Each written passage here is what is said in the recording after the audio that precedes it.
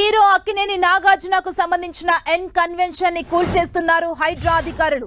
తెల్లవారుజాము నుంచే కూల్చివేత చర్యలు చేపట్టింది హైడ్రా. జంబో మిషన్లతో కూల్చేసేందుకు ఎన్ కన్వెన్షన్ దగ్గరికి చేరుకున్నారు హైడ్రా సిబ్బంది. భారీ పోలీసు బందోబస్తు నడుమ కూల్చివేత చర్యలు చేపట్టారు హైడ్రా అధికారులు.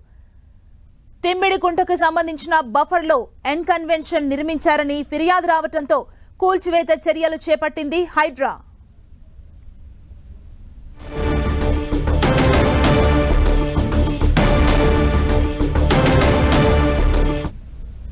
ఎస్ మనం చూడొచ్చు విజువల్స్లో హీరో అక్కినేని నాగార్జునకు సంబంధించిన ఎన్ కన్వెన్షన్ని కూల్చివేస్తున్నారు హైడ్రా అధికారులు. ఈ తెల్లవారుజాము నుంచే కూల్చివేత చర్యల్ని చేపట్టింది హైడ్రా. జంబో మిషన్లతో కూల్చేందుకు ఎన్ కన్వెన్షన్ దగ్గరకు అక్కడికి చేరుకున్నారు హైడ్రా సిబ్బంది. మనం చూడొచ్చు భారీ బందోబస్తు నడుమ ఈ కూల్చివేత చర్యల్ని చేపట్టారు అధికారులు. తుమ్మిడి కుంటకు సంబంధించిన బఫర్లో ఎన్ కన్వెన్షన్ నిర్మించారని ఫిర్యాదులు రావడంతో కూల్చివేత చర్యలు చేపట్టింది హైడ్రా.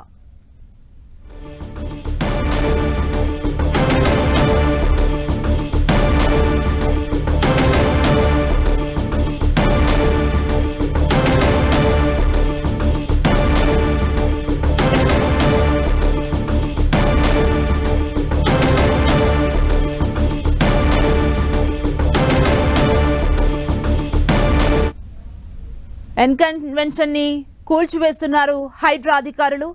ఇదే అంశానికి సంబంధించి మరింత సమాచారాన్ని తెలుసుకుందాం. మా ప్రతినిధి రాముడు అందిస్తారు. రాముడు. హైదరాబాద్ నగరంలో డెమాలిషన్స్ కొనసాగుతున్నాయి. చెరువుల్లో ఉన్నటువంటి అక్రమ నిర్మాణాల పైన అధికారులు కొంత సీరియస్గా వ్యవహరిస్తున్నటువంటి పరిస్థితి ఉంది. ప్రధానంగా గ్రేటర్ హైదరాబాద్తో పాటు అనేక ప్రాంతాల్లో ఈ విధమైనటువంటి కూల్చివేతలు చేస్తున్నారు. ఇప్పుడు చూస్తే హీరో నాగార్జునకు సంబంధించినటువంటి ఎన్ కన్వెన్షన్ ఈ రోజు కూల్చివేస్తున్నారు. ఇది శేర్లింగంపల్లి మండలం ఆ, విలేజ్లో ఉంది. గతంలోనే దాదాపు రెండు వేల పద్నాలుగు పదిహేను ఈ ప్రాంతంలోనే ఈ చెరువుకు సంబంధించి కబ్జా జరిగినట్టుగా అధికారులు గుర్తించారు. అప్పటి కమిషనర్ సోమేష్ కుమార్ సంబంధించి అప్పట్లో కూల్చివేతలు చేస్తారని దాదాపు ఐదు ఆరు రోజుల పాటు ఉత్కంఠ నెలకొన్నటువంటి పరిస్థితి ఉంది. మాదాపూర్ హైటెక్ సిటీ ప్రాంతంలో ఉండేటువంటి నిర్మాణాలకు సంబంధించి చాలా కూల్చివేతలు జరిగినప్పుడు దీనికి సంబంధించినటువంటి కూల్చివేతలు కూడా చేస్తారు ఎన్కన్వెన్షన్ సంబంధించి అని చెప్పడం జరిగింది. కానీ ఇప్పుడు ఆలస్యంగా ఇప్పుడు హైడ్రా వచ్చిన తర్వాత మాత్రం దాన్ని కూల్చివేతలు చేపడుతున్నటువంటి పరిస్థితి ఉంది. ప్రధానంగా ఎన్ కన్వెన్షన్ బఫర్ జోన్ అదేవిధంగా ఎఫ్టీఎల్ పరిధిలో ఉంది అని గుర్తించారు అధికారులు. దానికి తగ్గట్టుగా ఇప్పటికే దాని పూర్తి స్థాయిలో వివరాలు సేకరించారు. ఇటు రెవెన్యూ సిబ్బంది నుంచి కానీ అదేవిధంగా ఇరిగేషన్ డిపార్ట్మెంట్ నుంచి కానీ పూర్తి వివరాలు తీసుకున్న తర్వాత ఈ రోజు ఉదయం నుంచే కూల్చివేతలను చేపట్టారు.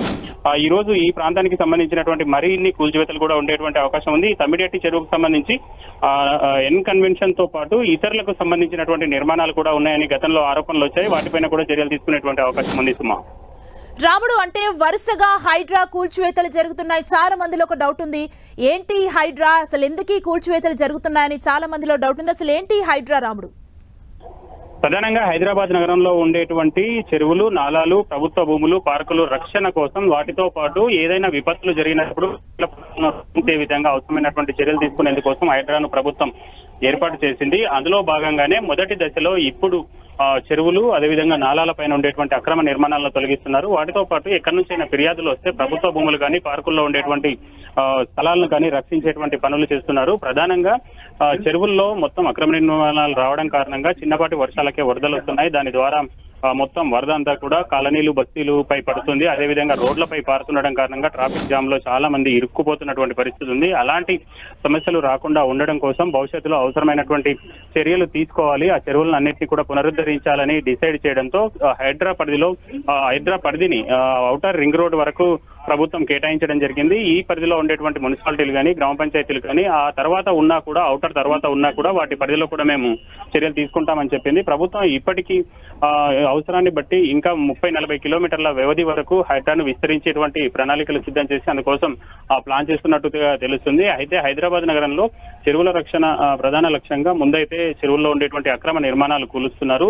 తర్వాత దశలో దీనికి సంబంధించి పార్కులు అదేవిధంగా ఇతర ప్రభుత్వ స్థలాలకు సంబంధించినటువంటి అంశాలపైన కోర్టుల్లో కేసులు ఏమైనా ఉంటే వాటన్నిటిని క్లియర్ చేయించి వాటన్నిటి కూడా తొలగించడం కోసం ఏవి రంగనాథ్ ఆధ్వర్యంలో ప్రత్యేకంగా ఒక టీం ఏర్పాటు చేశారు. వాళ్ళు చాలా ఎక్కువగా ప్రాంతాల్లో కూల్చివేతలు చేస్తున్నారు. మనం చూసాం గతంలో ఏదో ఋతుమంత్రంగా కూల్చివేతలు చేసి వెళ్ళారు కానీ ఇప్పుడు ఆ విధంగా కాకుండా పూర్తిగా నిర్మాణాన్ని అంతా కూడా నేలమట్టం చేయడంతో పాటు అక్కడ ఉండేటువంటి డెబ్రేషన్ అంతా కూడా తొలగించి దాన్ని అంతా చెరువునంతా క్లీన్ చేయాలనేది ప్రణాళిక రూపొందించుకొని వాళ్ళు ముందుకు వెళ్తున్నారు సుమా.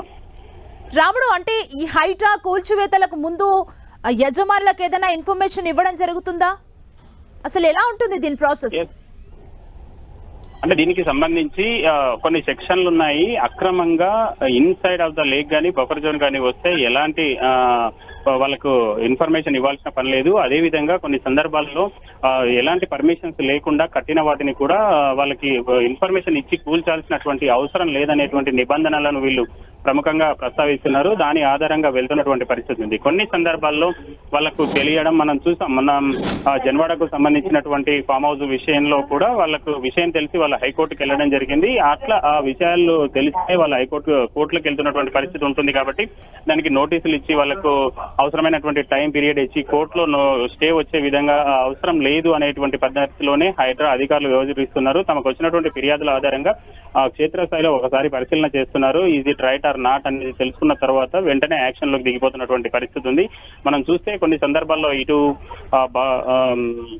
ఎర్రకుంట చెరువులు కూల్చివేత చేసినప్పుడు బాజ్పల్లికి సంబంధించి అక్కడ వాళ్ళు ఎల్ఆర్ఎస్ కూడా చేయడం ఎల్ఆర్ఎస్ కూడా చెల్లించి నిర్మాణాలకు అనుమతులు తీసుకున్నామని క్షేత్రస్థాయిలో వాళ్ళు ఎవరైతే నిర్మాణాలు చేశారో వాళ్ళు చెప్తున్నారు. అదేవిధంగా ఇటు చందానగర్ మదీనాగూడ చెరువులో కూల్చివేతలు చేసినటువంటి మూడు నిర్మాణాలు కూడా జిహెచ్ఎంసీ దగ్గర పర్మిషన్ తీసుకొని వాళ్ళు నిర్మాణాలు చేశారు. కాబట్టి తాము వాళ్ళు పర్మిషన్ ఇస్తేనే మేము కట్టామన్నట్టుగా వాళ్ళు చెప్తున్నారు. కానీ ఇరిగేషన్కు సంబంధించినటువంటి అధికారులు ఇందులో ఎన్ఓసి తీసుకోలేదు. ఇది చెరువులో ఉంది అని చెప్పడం ఇట్లాంటివి అంటే ఏదైతే సరైనటువంటి వివరాలు ఉన్నాయో ఆ వివరాలు ఉన్నప్పుడు నేరుగా కూల్చేస్తున్నటువంటి పరిస్థితి ఉంది. ఇప్పుడు ఎన్ కన్వెన్షన్కు సంబంధించి సినిమా హీరో నాగార్జునదిగా చెబుతున్నటువంటి ఎన్ కన్వెన్షన్కు సంబంధించి దీనిని కూడా గతంలోనే రెండు వేల పద్నాలుగు పదిహేను పదహారు ప్రాంతంలోనే దీని అంటే పదిహేను ప్రాంతంలోనే దీన్ని నోటిఫై చేయడం జరిగింది. దాన్ని గుర్తించడం జరిగింది. ఎక్కడి వరకు బఫర్ ఉంది? ఎక్కడి వరకు ఎఫ్టీఎల్ ఉంది? అన్నటువంటి అంశాలను అప్పుడే డిసైడ్ చేశారు. కానీ కూల్చివేయడానికి కొంత వెనుకాడినటువంటి పరిస్థితి ఉంది. అప్పట్లో తీవ్రమైనటువంటి విమర్శలు రావడంతో ఇటు ఆ, మాదాపూర్ అయ్యప్ప సొసైటీలో ఉండేటువంటి నిర్మాణాల కూల్చివేతల సందర్భంగా తీవ్రమైనటువంటి ఆరోపణలు ప్రభుత్వం పైన రావడంతో కొంత వెనుకకు తగ్గడం జరిగింది. కొన్ని నిర్మాణాలను కూల్చిన తర్వాత ఒక రెండు రోజులు నిర్మాణాలు భారీ ఎత్తున కూల్చివేశారు. ఆ తర్వాత వెనక్కి తగ్గడం జరిగింది. పూర్తి స్థాయిలో అప్పట్లోనే ఎన్కన్వెన్షన్ కూలుస్తారన్నటువంటి వార్తలు వచ్చాయి ఊహాగానాలు వచ్చాయి. అధికారులు కూడా రెండు మూడు సార్లు వచ్చి పరిశీలించారు. ఆ తర్వాత దాన్ని కూల్చకుండా వెళ్ళారు. ఇప్పుడైతే మాత్రం అధికారులు హైడ్రా అధికారులు దాన్ని మొత్తం కూడా నిలమట్టం చేసే పద్ధతిలో ఏదైతే ఎఫ్పిఎల్ బఫర్ జోన్ వరకు ఉందో ఆ నిర్మాణాన్ని అన్నింటినీ కూడా కూల్చివేస్తున్నారు సుమా. రాముడు ఇప్పుడు మనం స్క్రీన్ మీద చూస్తున్నాం ఎన్ కన్వెన్షన్ని పూర్తిగా కూల్చివేస్తున్న సిచ్యువేషన్ కనబడుతుంది. అంటే బఫర్ జోన్లో కన్స్ట్రక్షన్ చేసుకోవడానికి అసలు అప్పట్లో పర్మిషన్స్ ఎలా వచ్చాయి? ఇంత పెద్ద పెద్ద బిల్డింగ్స్ కట్టారు కదా ఇప్పుడు ఇవన్నీ కూల్చేస్తున్నారు కదా అసలు ఏం జరిగింది అప్పట్లో? అంటే సాధారణంగా కొద్ది మందికి ఆ విషయం తెలియదు అది కొనుక్కున్నప్పుడు లేదంటే అప్పటికే ఆ చెరువు పూడ్చివేయబడి ఉంటుంది కాబట్టి వాళ్ళకి తెలియక కొనుగోలు చేస్తారు దాని తర్వాత దాన్ని నిర్మాణం చేస్తారు. ఈ చెరువులో కూడా పబ్లిక్ పట్టా భూమి ఉండేటువంటి అవకాశం ఉంది. అంటే ఆ పట్టా భూమి ఉన్నప్పటికీ ఎక్కడైతే వాటర్ బాడీ ఉంటుందో ఆ వాటర్ బాడీలో ఆ విధమైనటువంటి నిర్మాణాలు చేయడానికి అవ- అవకాశం లేదు. ఆ, అవకాశం లేనటువంటి పరిస్థితి ఉంటుంది. దానివల్ల ముఖ్యంగా సిటీలో ఉండేటువంటి అనేక ప్రాంతాల్లో ఈ విధమైనటువంటి నిర్మాణాలను చేసుకుంటుంటారు. కొద్ది మంది బిల్డర్స్ కానీ మరికొద్ది మంది కానీ దాన్ని కూల్చి దానిని కట్టేసి అక్కడ నుంచి అమ్మేసుకొని వెళ్ళిపోతారు. సాధారణంగా ఉండేటువంటి పబ్లిక్ ఇబ్బందులు పడుతున్నటువంటి పరిస్థితి ఉంది. ఇప్పుడు చూస్తే ఒక ప్రముఖ వ్యక్తి టాప్ టాలీవుడ్ హీరోగా ఉండేటువంటి వ్యక్తికి సంబంధించినటువంటి నిర్మాణం కాబట్టి వీళ్ళందరూ వీళ్ళ- వీటికి సంబంధించి ముందే వాళ్ళు చూసుకోవాల్సి ఉంటుంది. అది చెరువు పక్కనే ఉంటుంది కాబట్టి ఆ నిర్మాణానికి ఆ, అనుమతులు వస్తాయా లేదా అనేటువంటి అంశాలను కూడా వాళ్ళు ఫైనల్ చేసుకోవాల్సి ఉంటుంది. కానీ ఆ విధమైనటువంటి చర్యలు తీసుకోలేదు. తద్వారానే ఈ విధమైనటువంటి కూల్చివేతలు జరుగుతున్నటువంటి పరిస్థితి ఉంది. అయితే ముఖ్యంగా చూస్తే ఆ, తమిటికుంట చెరువుకు సంబంధించి ఆ, తూము అంటే కట్ట తర్వాత తూము ఉంటుంది కాబట్టి అది మధ్యలో ఉంటుంది. దానికి దగ్గర వరకు కూడా ఈ ఎన్కన్వెన్షన్ నిర్మాణంలో ఉంది. ఆ ఎన్కన్వెన్షన్కు సంబంధించినటువంటి ల్యాండ్ ఉంటుంది. దాన్ని మొత్తం పూడ్చి ఆ హైట్గా చెరువులో నీళ్ళు దానిలోకి రాకుండా వాళ్ళు నిర్మాణం చేశారు. దాని తర్వాత మధ్యలోంచి ఒక బంకెట్ హాల్ లాంటి దాన్ని కూడా నిర్మాణం చేయడం జరిగింది. ఇప్పుడు దానికి సంబంధించినటువంటి నిర్మాణాన్ని కూల్చివేస్తున్నారు. ముఖ్యంగా గ్రేటర్ హైదరాబాద్ పరిధిలో అనేక చెరువులలో చాలా వరకు ఇప్పుడు మనం చూస్తే హుస్సేన్ సాగరే దాదాపు ఇరవై ఐదు శాతానికి పైగా ఆ, కుంచించుకుపోయినట్లుగా అనేక చెరువులు డెబ్బై నుంచి ఎనభై శాతం కుంచించుకుపోయినట్టుగా అధికారులు అంచనా వేస్తున్నారు. కాబట్టి అందులో ఉండేటువంటి నిర్మాణాలు చాలా వరకు మనం చూడొచ్చు. అనేక ప్రాంతాల్లో లేక్ వ్యూ పేరుతో నిర్మాణాలు చేస్తుంటారు. పెద్ద పెద్ద బిల్డర్స్ కానీ అదే విధంగా కొంతమంది నిర్మాణదారులు అక్కడ నిర్మాణాలు చేసి వాటిని అమ్మేసి వెళ్ళిపోతుంటారు. ఇట్లాంటి సందర్భంలో కొనుక్కున్నటువంటి వాళ్ళు ఎవరైతే ఉన్నారో వాళ్ళందరూ కూడా ఇబ్బందులు పడుతున్నటువంటి ఆ, పరిస్థితి ఉంది సుమా. థ్యాంక్ యూ రాముడు